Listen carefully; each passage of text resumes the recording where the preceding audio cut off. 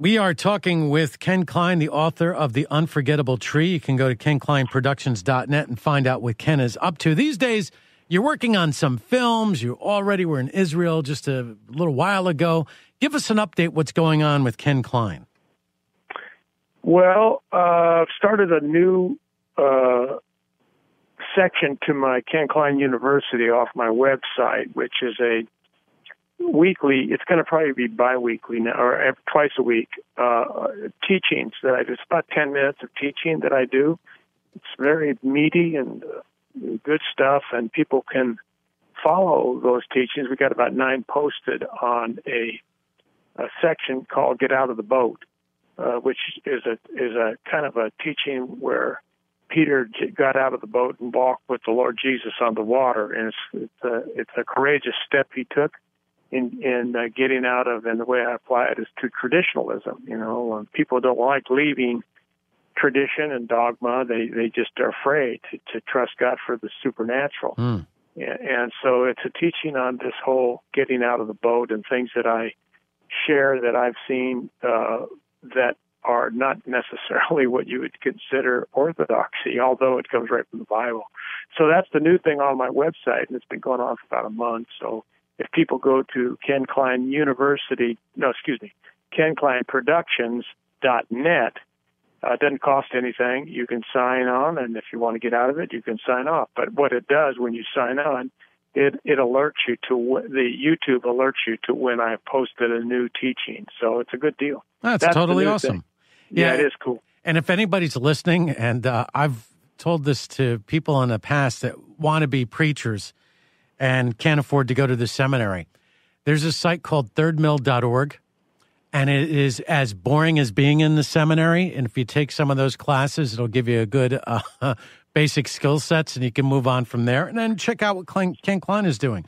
I was checking out some of the uh, traffic that I see in my alerts. I set up my Google alerts and this is an article that's going around right now Biblical Bombshell as archaeologists discover origins of David and Goliath battle. Before I get your comment on this, I am amazed at how many times I will see these type of stories where archaeologists, and it's always in the headline, confirm that King David lived or found the site where such and such happened.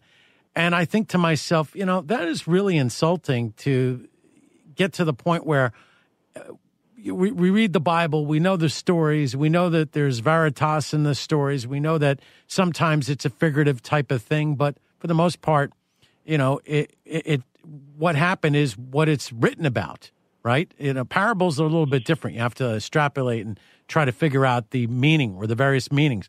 But the actual stories themselves, these characters, Solomon, King David, these are actually people that existed. And I don't know about you, Ken Klein, but I get sort of insulted when, oh, now we finally have proof based on science and archaeology. Well, you know, uh, people on Earth are vexed with the problem of not understanding the heavens.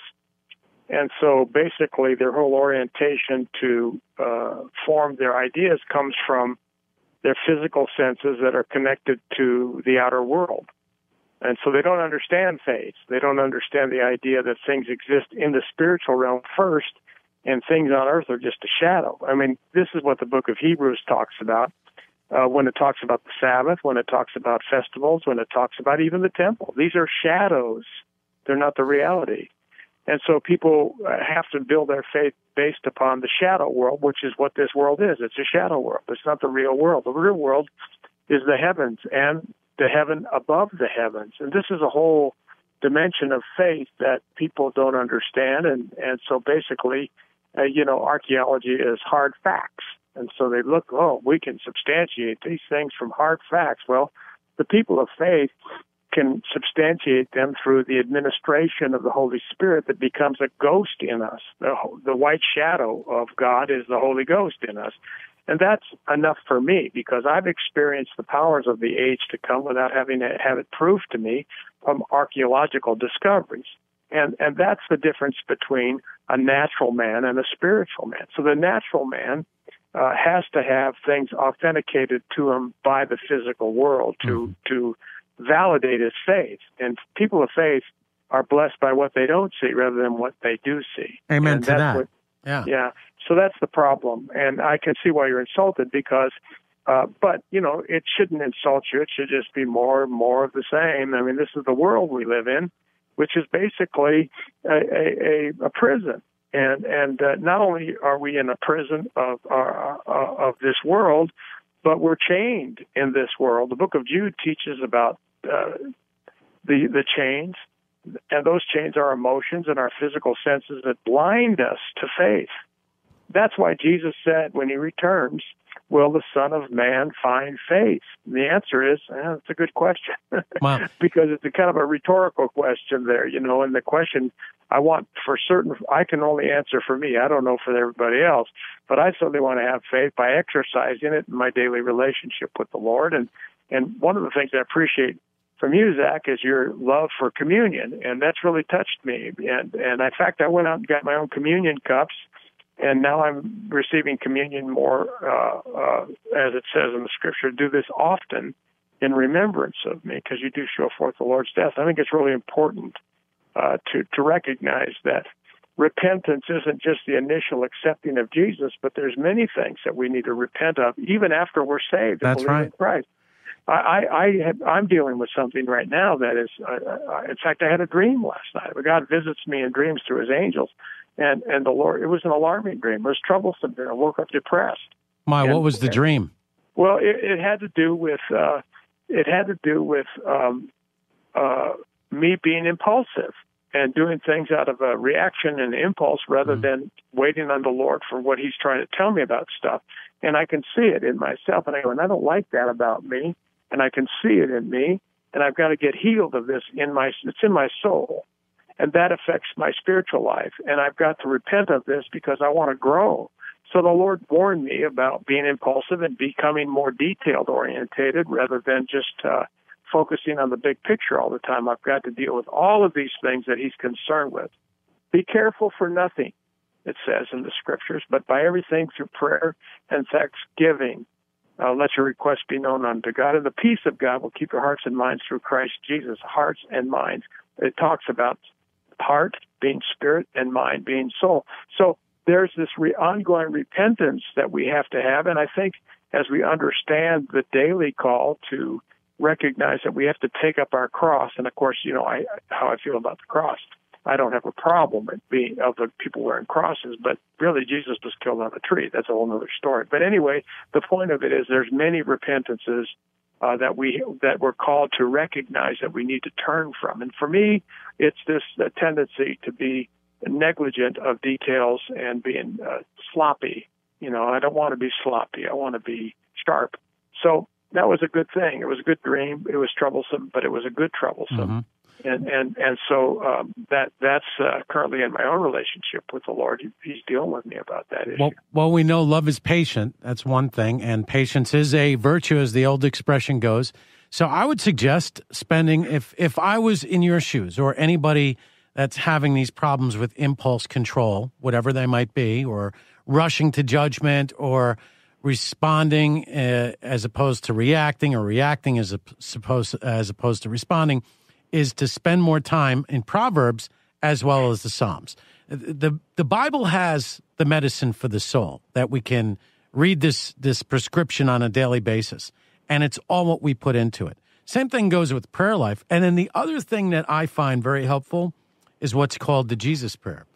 Lord Jesus Christ, Son of God, have mercy on me, a sinner. It's based on the encounter of Bartimaeus as Jesus is going up towards uh, towards Jericho. Uh, he's going from Jericho up towards Jerusalem. So that's where the Jesus prayer comes from. And every once in a while, you'll hear that repeated: "Have mercy on me, a sinner," or "Lord God, have mercy on me." Jesus, Son of Adam, have mercy on me. All of these different phrases, "Have mercy on me," and it really, the original language is Jesus, God, love me. This mercy is love me. So something to contemplate. yeah, it's good work. Um, we talked about this planet being a prison, and Yes. I've heard it. Right. I've heard it referred to as prison planet. You might have been listening to Alex Jones over the year. Prison planet. It's a good way of, I guess, qualifying what what kind of world we live on. Who is the jailer? on this prison planet? Well, the jailer is the prince of the power of the air uh, that that uh, afflicts us and keeps us in chains and keeps us locked up in solitary sometime, and that's Lucifer, who's now called Satan. He's the jailer, uh, and he's he is the one that afflicts us. But it has to be understood that uh, any affliction that he uh, uh applies to us is only allowed from heaven. Jesus said to Pilate, uh, he said that Pilate said, "Don't you know I can have you killed?" And Jesus said, "Well, you couldn't do nothing to me unless it was granted to you uh, from heaven." So these things that we go through in this life are afflictions, but they're really the stripes that Jesus bore, in a sense. Uh, the afflictions that he took in his body the stripes, the sacred stripes, are allowed. They're they're allowed upon us uh, to afflict us, so that we would look up to God and and and ask for deliverance and development and healing. Like I was afflicted last night in my dream, like, but it was a good affliction. It was like it was it hurt me to have that dream, and these are stripes that are necessary. This is the discipline of God, and no discipline seems uh, you know, uh, pleasant, but it yields it yields something of righteousness when we turn to the Lord for help. So that's a good prayer that you mentioned on the road to Dema- uh, uh, from uh, um, Jericho to to Jerusalem. In fact, I write about that in the book. Uh, the the unforgettable tree is the last week of Jesus' life, and it's really interesting. And you see there that uh, when Jesus goes into the city, Jerusalem, to the temple, on a, on the donkey, uh, and they're laying palm leaves in his pathway.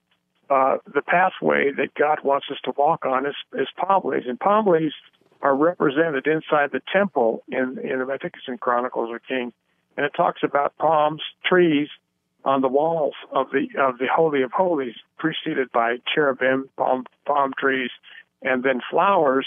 These are on the walls of the Holy of Holies because most likely the palm tree was the tree of life in the Garden of Eden. And, and so his way is, is, is, uh, paved with palm leaves for the people saying, Hosanna, Hosanna, glory to the King. And then the Sanhedrin said, be quiet, don't say this. And he said, well, the rocks would cry out if they didn't do this. Huh. And, and he, and he did that to, to enrage the Sanhedrin so that they would kill him. He maneuvered his way into uh, his his crucifixion by enraging the religious people of the day to accomplish God's will. And, and it's really fascinating how how th- this all worked out because it says if the rulers of this age would have known what they were doing, they would have never crucified the Lord of glory. So Palm Sunday was actually uh, Jesus laying a trap for them so that they'd kill him, which is like the wisdom of God. So that story is a great story, and yet we kind of have an idea of Palm Sunday as you know Easter bunnies and all that is ridiculous. Yeah, it is ridiculous. The Easter bunny, out of all things, has really confused me. I know it's uh, from pagan the pagan world, but I just shake my head. That's why in the Orthodox Church they don't refer to it as Easter; they refer to it as Pascha. Just so you know, yeah. there's no we yeah, don't well, we don't I, use the term Easter; we use it Pascha. Well, I don't even have a problem with you know oh, I don't, I, they, yeah, they I, call it Easter. I'm yeah. just saying that the re- the reality behind it was the Lord uh, using knowing how they would react if mm-hmm. He's being glorified, that they'd have a counter reaction to kill him. That's when they decided we got to kill this guy. He's just too dangerous. And here he's going to over he's going to overthrow Judaism if we don't stop this. Right. And so, here's the here's the lesson in all of that is that a lot of people, the Pharisees and Sadducees at the time, and Paul later on, they thought that they were doing God's will by uh, what they did. So when he's up on the, the cross or on the tree, as you put it, he goes, Forgive them, for they know not what they do. And that's, you know, true to this day. When we commit sins or when we do things, whether they're good or bad, we really have no idea uh, or cognizant. We're not cognizant of what we are doing. We don't really know. It's, it's, uh, the effects that we have on people around us and on nature, we have no idea of the ripple, whether good or bad. And that's why the Lord's Prayer is really interesting. Our Father, which art in the heavens. by the way, the heavens, right? not heaven.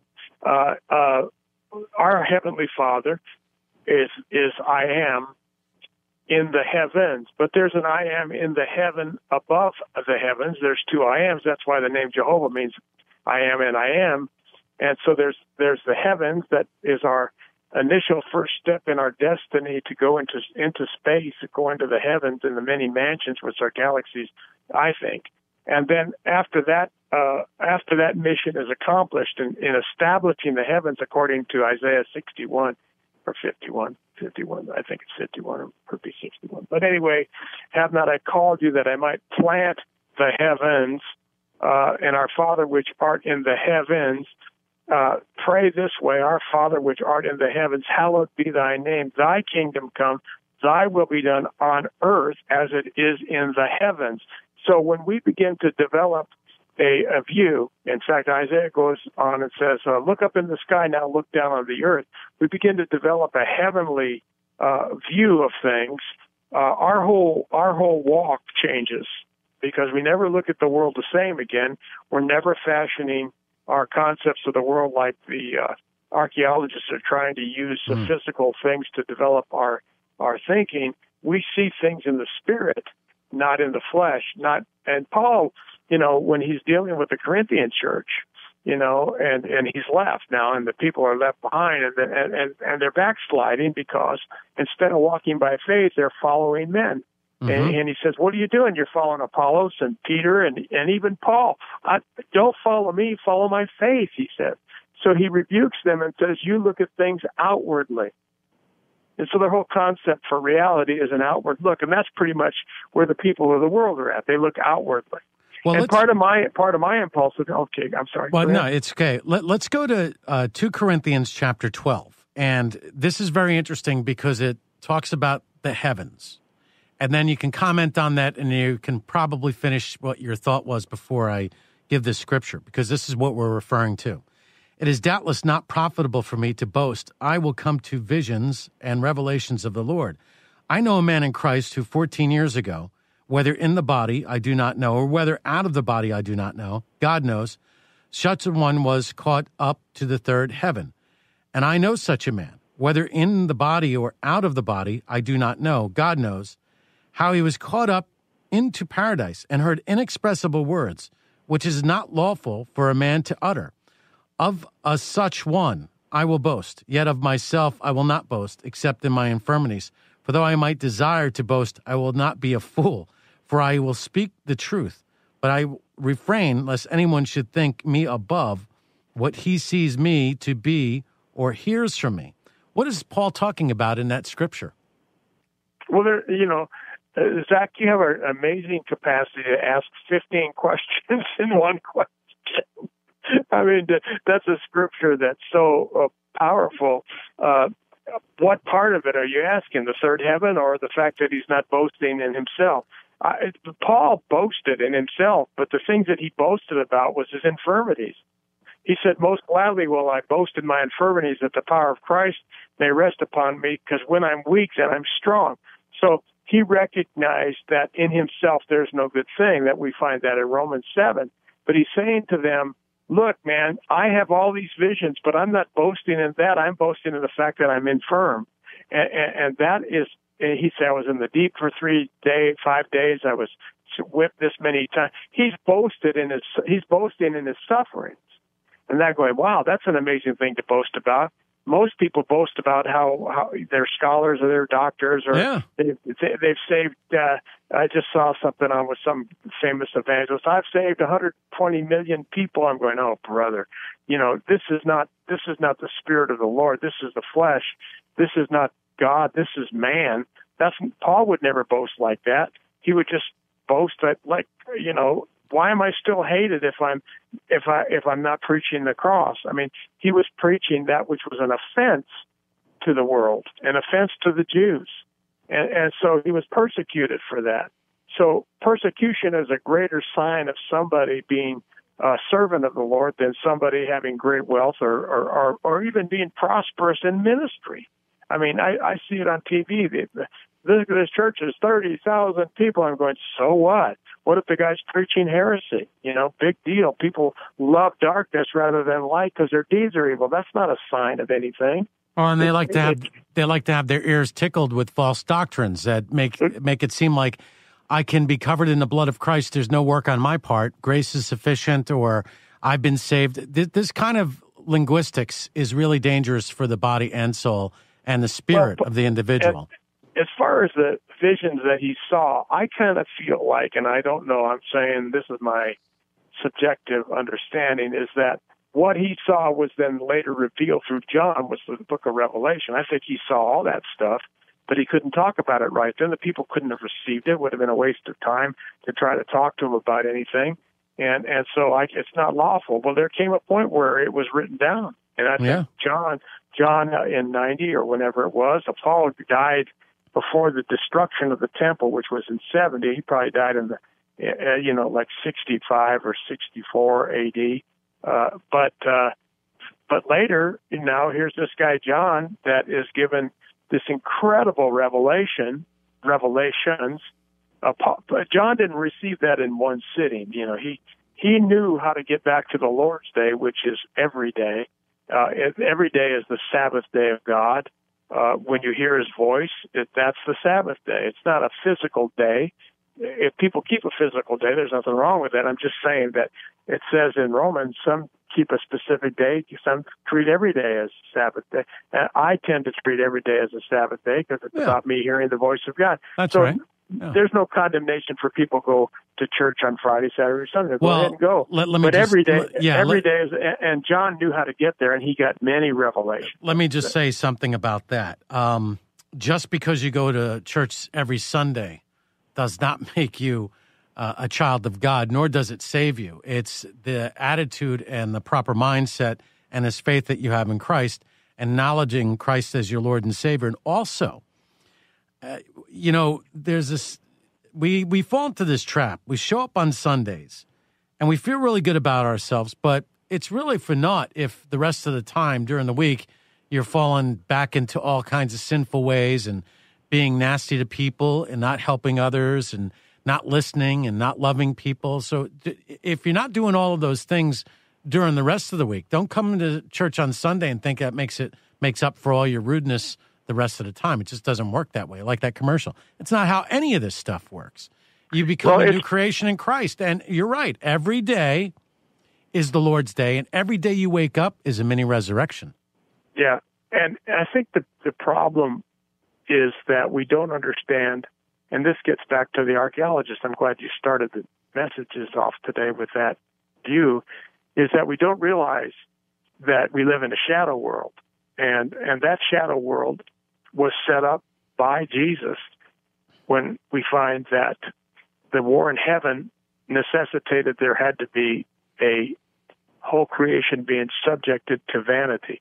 So we live in a world mm. of vanity and and the vanity, which means a temporary time or an emptiness, where where where the presence of God was recused from this world, and we can only find the presence of God through faith. We cannot find it necessarily in a church congregation or anywhere. It has to, we're the temple of God now. Jesus defined the temple of God as destroy this temple and I'll raise it up in three days, and for that he was treated as a a blasphemer because the, tap, the temple was sacrosanct to the Jews. That's where God's presence was. So how can you say something like this? You'll destroy something that took 50 years to build. And by the way, it's a centerpiece of our religion. So kill this guy. That's why he was considered a blasphemer. Well, redefined, redefining the temple as us. It was also it was also the center. It was also the center of their economy. This, that's right. Yeah. That's right. And and when Jesus went to the temple, he went to the outer court. The outer court is where the doves were being sold and the money changers were, and all that commerce was taking place. And he was angry. And he was angry. He said, "You turned my father's house into a den of thieves." And he overthrew the temp- the, the tables there and was pretty upset and whipped people. And that took place, which is interesting, uh, in the outer court. It was, took place in the outer court, and that outer court is talked about in Revelation 11 when it says uh, uh, John's receiving some information after he sees the seven thunders. I don't know if we talked about that. no, we didn't get a, to that yet. Uh, but before we go any further, let's uh, bring it back to the unforgettable tree, written by Ken Klein. You can get it; it's available on KenKleinProductions.net. There's also the university, Ken Klein University. I guess that's what you're calling it. Yeah. Okay, so you can sign up for that. It's for free. well, Um, no, let me just clarify a little bit. If you go to kenkleinproductions.net, Right. okay, kenkleinproductions.net is, is where you go to see all my work, but also at the bottom of the landing page, when you see my books and films and all that, there's a place to sign up for the YouTube uh, uh, biweekly Ah, okay, gotcha. uh, information. So you, when you go there, you got to sign up, and and then you'll get notified by YouTube. They'll tell you actually when I do a new posting, and Mhm. those postings are the teachings that I bring, so that you, if you're interested in following along, you you can. You can always opt out if you sign up. There's no cost; it's just free, but you have to uh, sign up to get the uh, alerts from YouTube. Got you. All right. So let's uh, get to this point. I want to talk a little bit about chapter 17. So we're leading up to what ends up being the crucifixion of our Lord and Savior Jesus Christ. Yes. He's taking on the temple system. He runs out, the, he takes a, fashions a whip and runs him out of the temple, the money changers. And there's a lot of stuff going on there. I mean, they're making it a den in iniquity. They're cheating the very people that they're supposed to serve. He's infuriated. It's righteous anger, drives him out. He's making statements, as you said before, as he's riding in on the donkey on what's called Palm Sunday, that really Right. infuriates him, which causes a mindset of madness. So take us right, right. to the mindset of madness that's happening at this time. Well, try to imagine uh, these people whose authority and power uh, was so vast and so fearful uh, that when somebody was healed of blindness, the parents were afraid to tell everybody how this person was healed, and, and they they were afraid of the Jews. That's a good insight into uh, the power these Sanhedrin, which are the Pharisees and Sadducees, had over all the people because of the law of God, which is the the, Tanakh or the Ten Commandments and, and the Book of Leviticus and all that in the Ezekiel. Uh, The, the power of Judaism and its far-reaching effect uh, was comp- comprehensive. It was everywhere. It's ubiquitous in the land. And so when the Pharisees and the Sadducees decided to go up and, and deal with Jesus up in Galilee, this is the early stages of his ministry, they had to walk almost a 100 miles to deal with this guy Jesus who's turning the world upside down up in Galilee. And he just didn't wince. He just rebuked them. And he said, You guys are a bunch of vipers. I mean, he didn't cut slack. I mean, he dealt with them straight up. And you can imagine the disciples when he's dealing with these people, that are the most powerful people in the land, and he's turning them away and they can't even argue with him. He's too powerful. They're blown away by this guy, Jesus.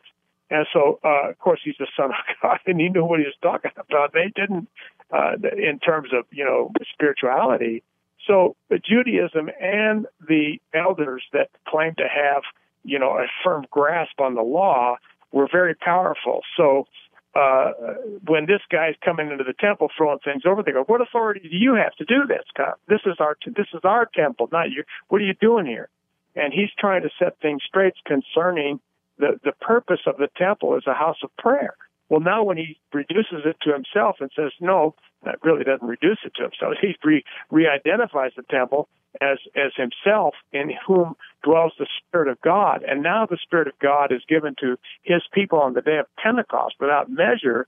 He's t- explaining to us what the real temple is, and it's not a place. And that's why he says, you know, to the woman at the well, uh, where you, you say, well, it's in Jerusalem, but where's the right place? Those that worship me will worship in spirit and in truth. So it's everywhere. Everywhere you stop and, and, and contemplate God and worship Him and thank Him for whatever. You're the temple of God now if you've received the Holy Spirit without measure. So He's changing the whole world. And for this, you know, He was killed on a tree. Why? Because the tree was killed on was a fig tree. And the fig tree was in the Garden of Eden, and it was most likely the tree, and I think it was, that Adam and Eve ate from, and they covered themselves with fig leaves. So the fig tree was what he was killed on, and when he cursed it, he was cursing the law. He was cursing the law, which was the fig tree was a metaphor of that. Yeah, and may nothing grow it- on you again. So, in other right, words, he, because he- it, because the, the law cannot produce righteousness. right, can't. and at the same time, he's also saying something uh, about the Pharisees and Sadducees in the ruling class that may nothing grow from you again. He, he's shutting them right. down at that point. That's right. And so finally, you know, uh, in 70 AD, uh, the temple's destroyed. So there's no. When I was in Jerusalem, you know, a month ago, there was this New York Jewish guy that got I allowed to get in my cab. He said, "Can we share the cab with you?" I said, "Sure, come on." And he and, and I said, "Isn't that the tomb of David?" And then the the wife of this guy starts to say, "No, that's not it. Where are you from? Who are you?" And she starts querying me like, "What are you?" And I said, "Well, I'm I'm Jewish guy that believes believes in a different covenant that you do." And that started a big war with me. And, and, and I said, why are you guys arguing with me? You know, you, you have no way to fulfill Yom Kippur, and yet you're arguing with me that uh, I, I don't know what I'm talking about. But how do you keep Yom Kippur? Well, we don't have to keep it, you know. Uh, I said, how do you do it without a temple? How do you do this without a temple? And they said, well, we don't have to do it that way anymore because all we have to do is pray and fast on Yom Kippur. And I said, well, that's not what the law says. The law says without the shedding of blood, there's no remission of sins. And like, so you guys are changing the law, but the law doesn't change. You know, heaven and earth may pass away, but my law will never. So you guys can't even keep your own religion and yet you're arguing with me that I'm some apostate Jew. I'm saying you guys are uh, you guys are disgusting to me because you argue for something that's against what the Messiah is all about because he shed his blood so that you don't have to keep Yom Kippur anymore. You keep it through his blood. So wow, man, you can't believe the fight we had. And the guy was shook his head at me, but but but he Jesus redefined the temple. We're it. We're the temple. Well, we are the temple. We've been having the same fight for three to five thousand years now. I don't know how long it's been, but it, it seems like you know it, it's underlying. These fights in the Bible are underlying in the New Testament. You mentioned the parents who were afraid that they were going to get kicked out of their temple because yeah. kicked out of the synagogue because their son, who was blind from birth, was cured by Jesus Christ, Jesus That's the right. Christ, Jesus of Nazareth. And what I love about that story, and a lot of people miss the sense of humor, or they miss the exuberance that some of these people who find Christ have, where the son goes, I already told you this. What, you want to believe too? And I laugh at that thing. I'm like, what, you'd like to believe too? You want to follow him too? And it only makes them madder. So out of the yeah. mouths of babes really is is so true. And the wisdom that's contained in the Bible. I like when Jesus goes, Well, there's no deceit in that guy over there. I mean, that's a funny line. There, there is a sense of humor that Jesus has in a very um, cerebral way. So if yeah. you're a person who says, "Well, I'm all about wisdom," well, you'll find it in the Bible. And the the struggle that we have as Christians is we, ha- and especially in the West, is we have to take our our faith in Christ from our mind and reason and put it where it belongs, where the law is written in our hearts, and that's that really takes a leap of faith because it's counterintuitive just like the message of the cross is foolishness to the Greeks and uh, a, a, curse to the Jew, right? That's yeah, how the how the how the scripture goes. This is a very right. very exciting thing. Uh, um, as we um, talk about the subject, the unforgettable tree, and you can go to Ken Klein Productions and sign up for the newsletters and take part in the university and buy the books and the films.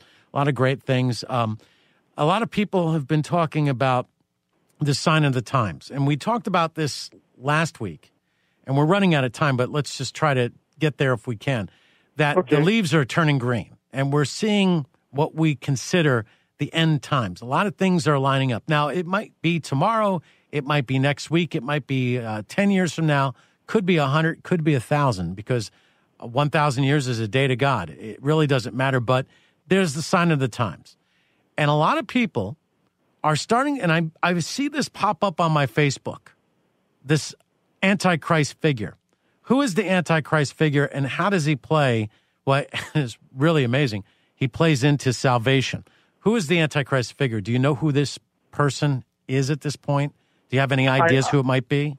I have suspicions, but I'm not going to say because it's totally speculative on my part, and I don't like to go there in speculations about things like this. I can tell you this, though that the one of the signs, two of the signs. One I talk about in in my film, uh, or in my book, uh, the Deep State Prophecy and the Last Trump, and in the new film that I just produced that uh, is going. I just I retitled it to the video um, extension of my book, the same title, that it's coming out soon again uh, with a new title. But it was uh, on my website. It's called The Four Horsemen of the End Game. Uh, I talk about one of the great last signs, which is the eighth head of the beast system. And that is to me uh, pretty clearly uh, manifested. I don't like to jump to what I'm going to say because there, it wouldn't be credible just to jump to the conclusion. So let me just say this: unless you read my book or watch my film, uh, you're going to have a, it would be a stretch and a jump in your logic. So I don't want to do that. But one of the last signs is the eighth head that comes out of the seven of the B system that spans the panorama of, of time since the Egyptian empire. So this is a, this is a, a bird's eye view of history and cons- cons- consolidates and ends with this eighth head coming out of the seven heads of the beast. That's happening right now, and we can see it. So that's one of the signs. But one of the other signs is called the uh, um, when you see the abomination of desolation spoken of by Daniel standing where it ought not to be. Now, this is an am- amazing sign that has not been understood and, and talked about in eschatological circles by evangelicals or Pentecostals or any of the high churches uh, know or can comprehend the meaning of this. But the abomination of desolation is something that Jesus talked about in the book of Matthew, something that you talked about last time we were on the air.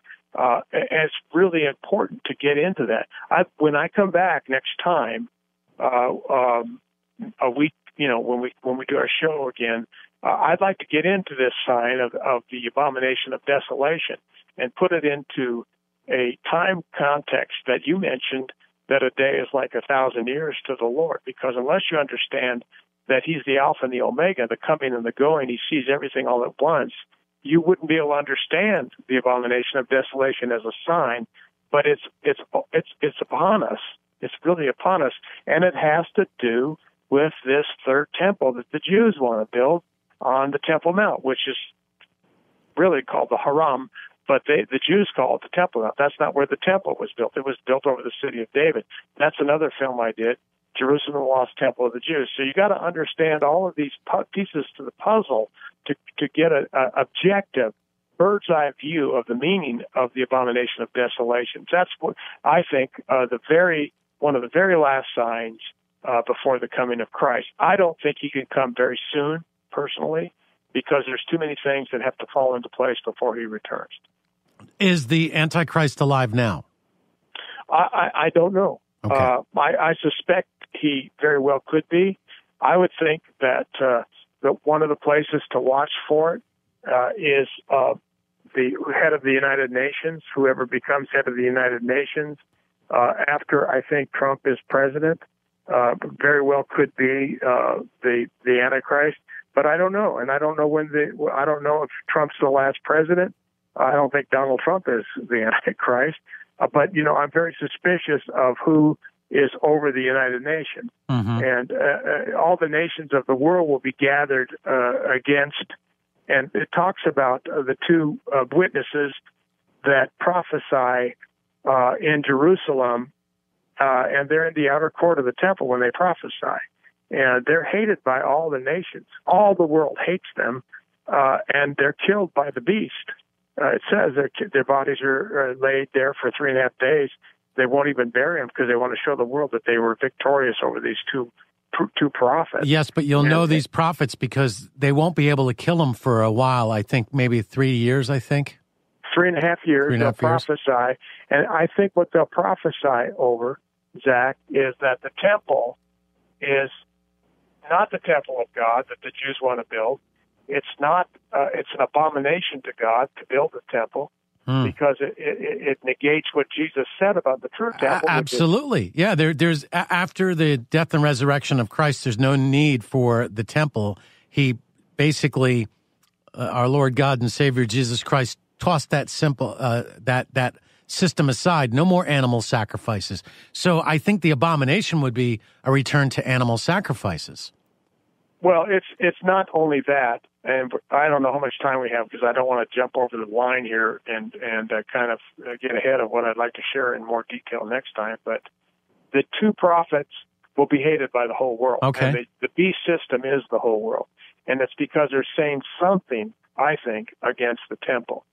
All right. And- we'll, we'll, and we'll, we'll we'll hold it off. We'll hold it off right there. It, it's Okay. something against the temple. So the next time we get together, we'll talk about the desolation and abomination uh, that you speak of. And we'll also explore more topics that can be found in the Unforgettable Tree, which is available at kenkleinproductions.com, along with No, no, no, no. books. Dot Oh, net. Dot net. I dot- keep I keep doing that by accident. No, you know Well, something. I, like- I, I, that's the first time I've said dot com as opposed to dot net. Think about that. It's a, it's a net because somebody stole my dot com, and and, and you know because I I, I, I somehow forgot to re-register it. Somebody Ah. stole it because there's so much traffic. oh, that's but it's nice. a it's a dot net. Well, you know what it is. It is what it is. We live in a fallen world, right? There's Yeah. So it's a dot net. Ken Klein Productions dot net. Okay, great. And um, I think that's just about it. Until next time, Ken. Um, God bless. Have safe uh, travels, and we'll speak to you soon. Okay.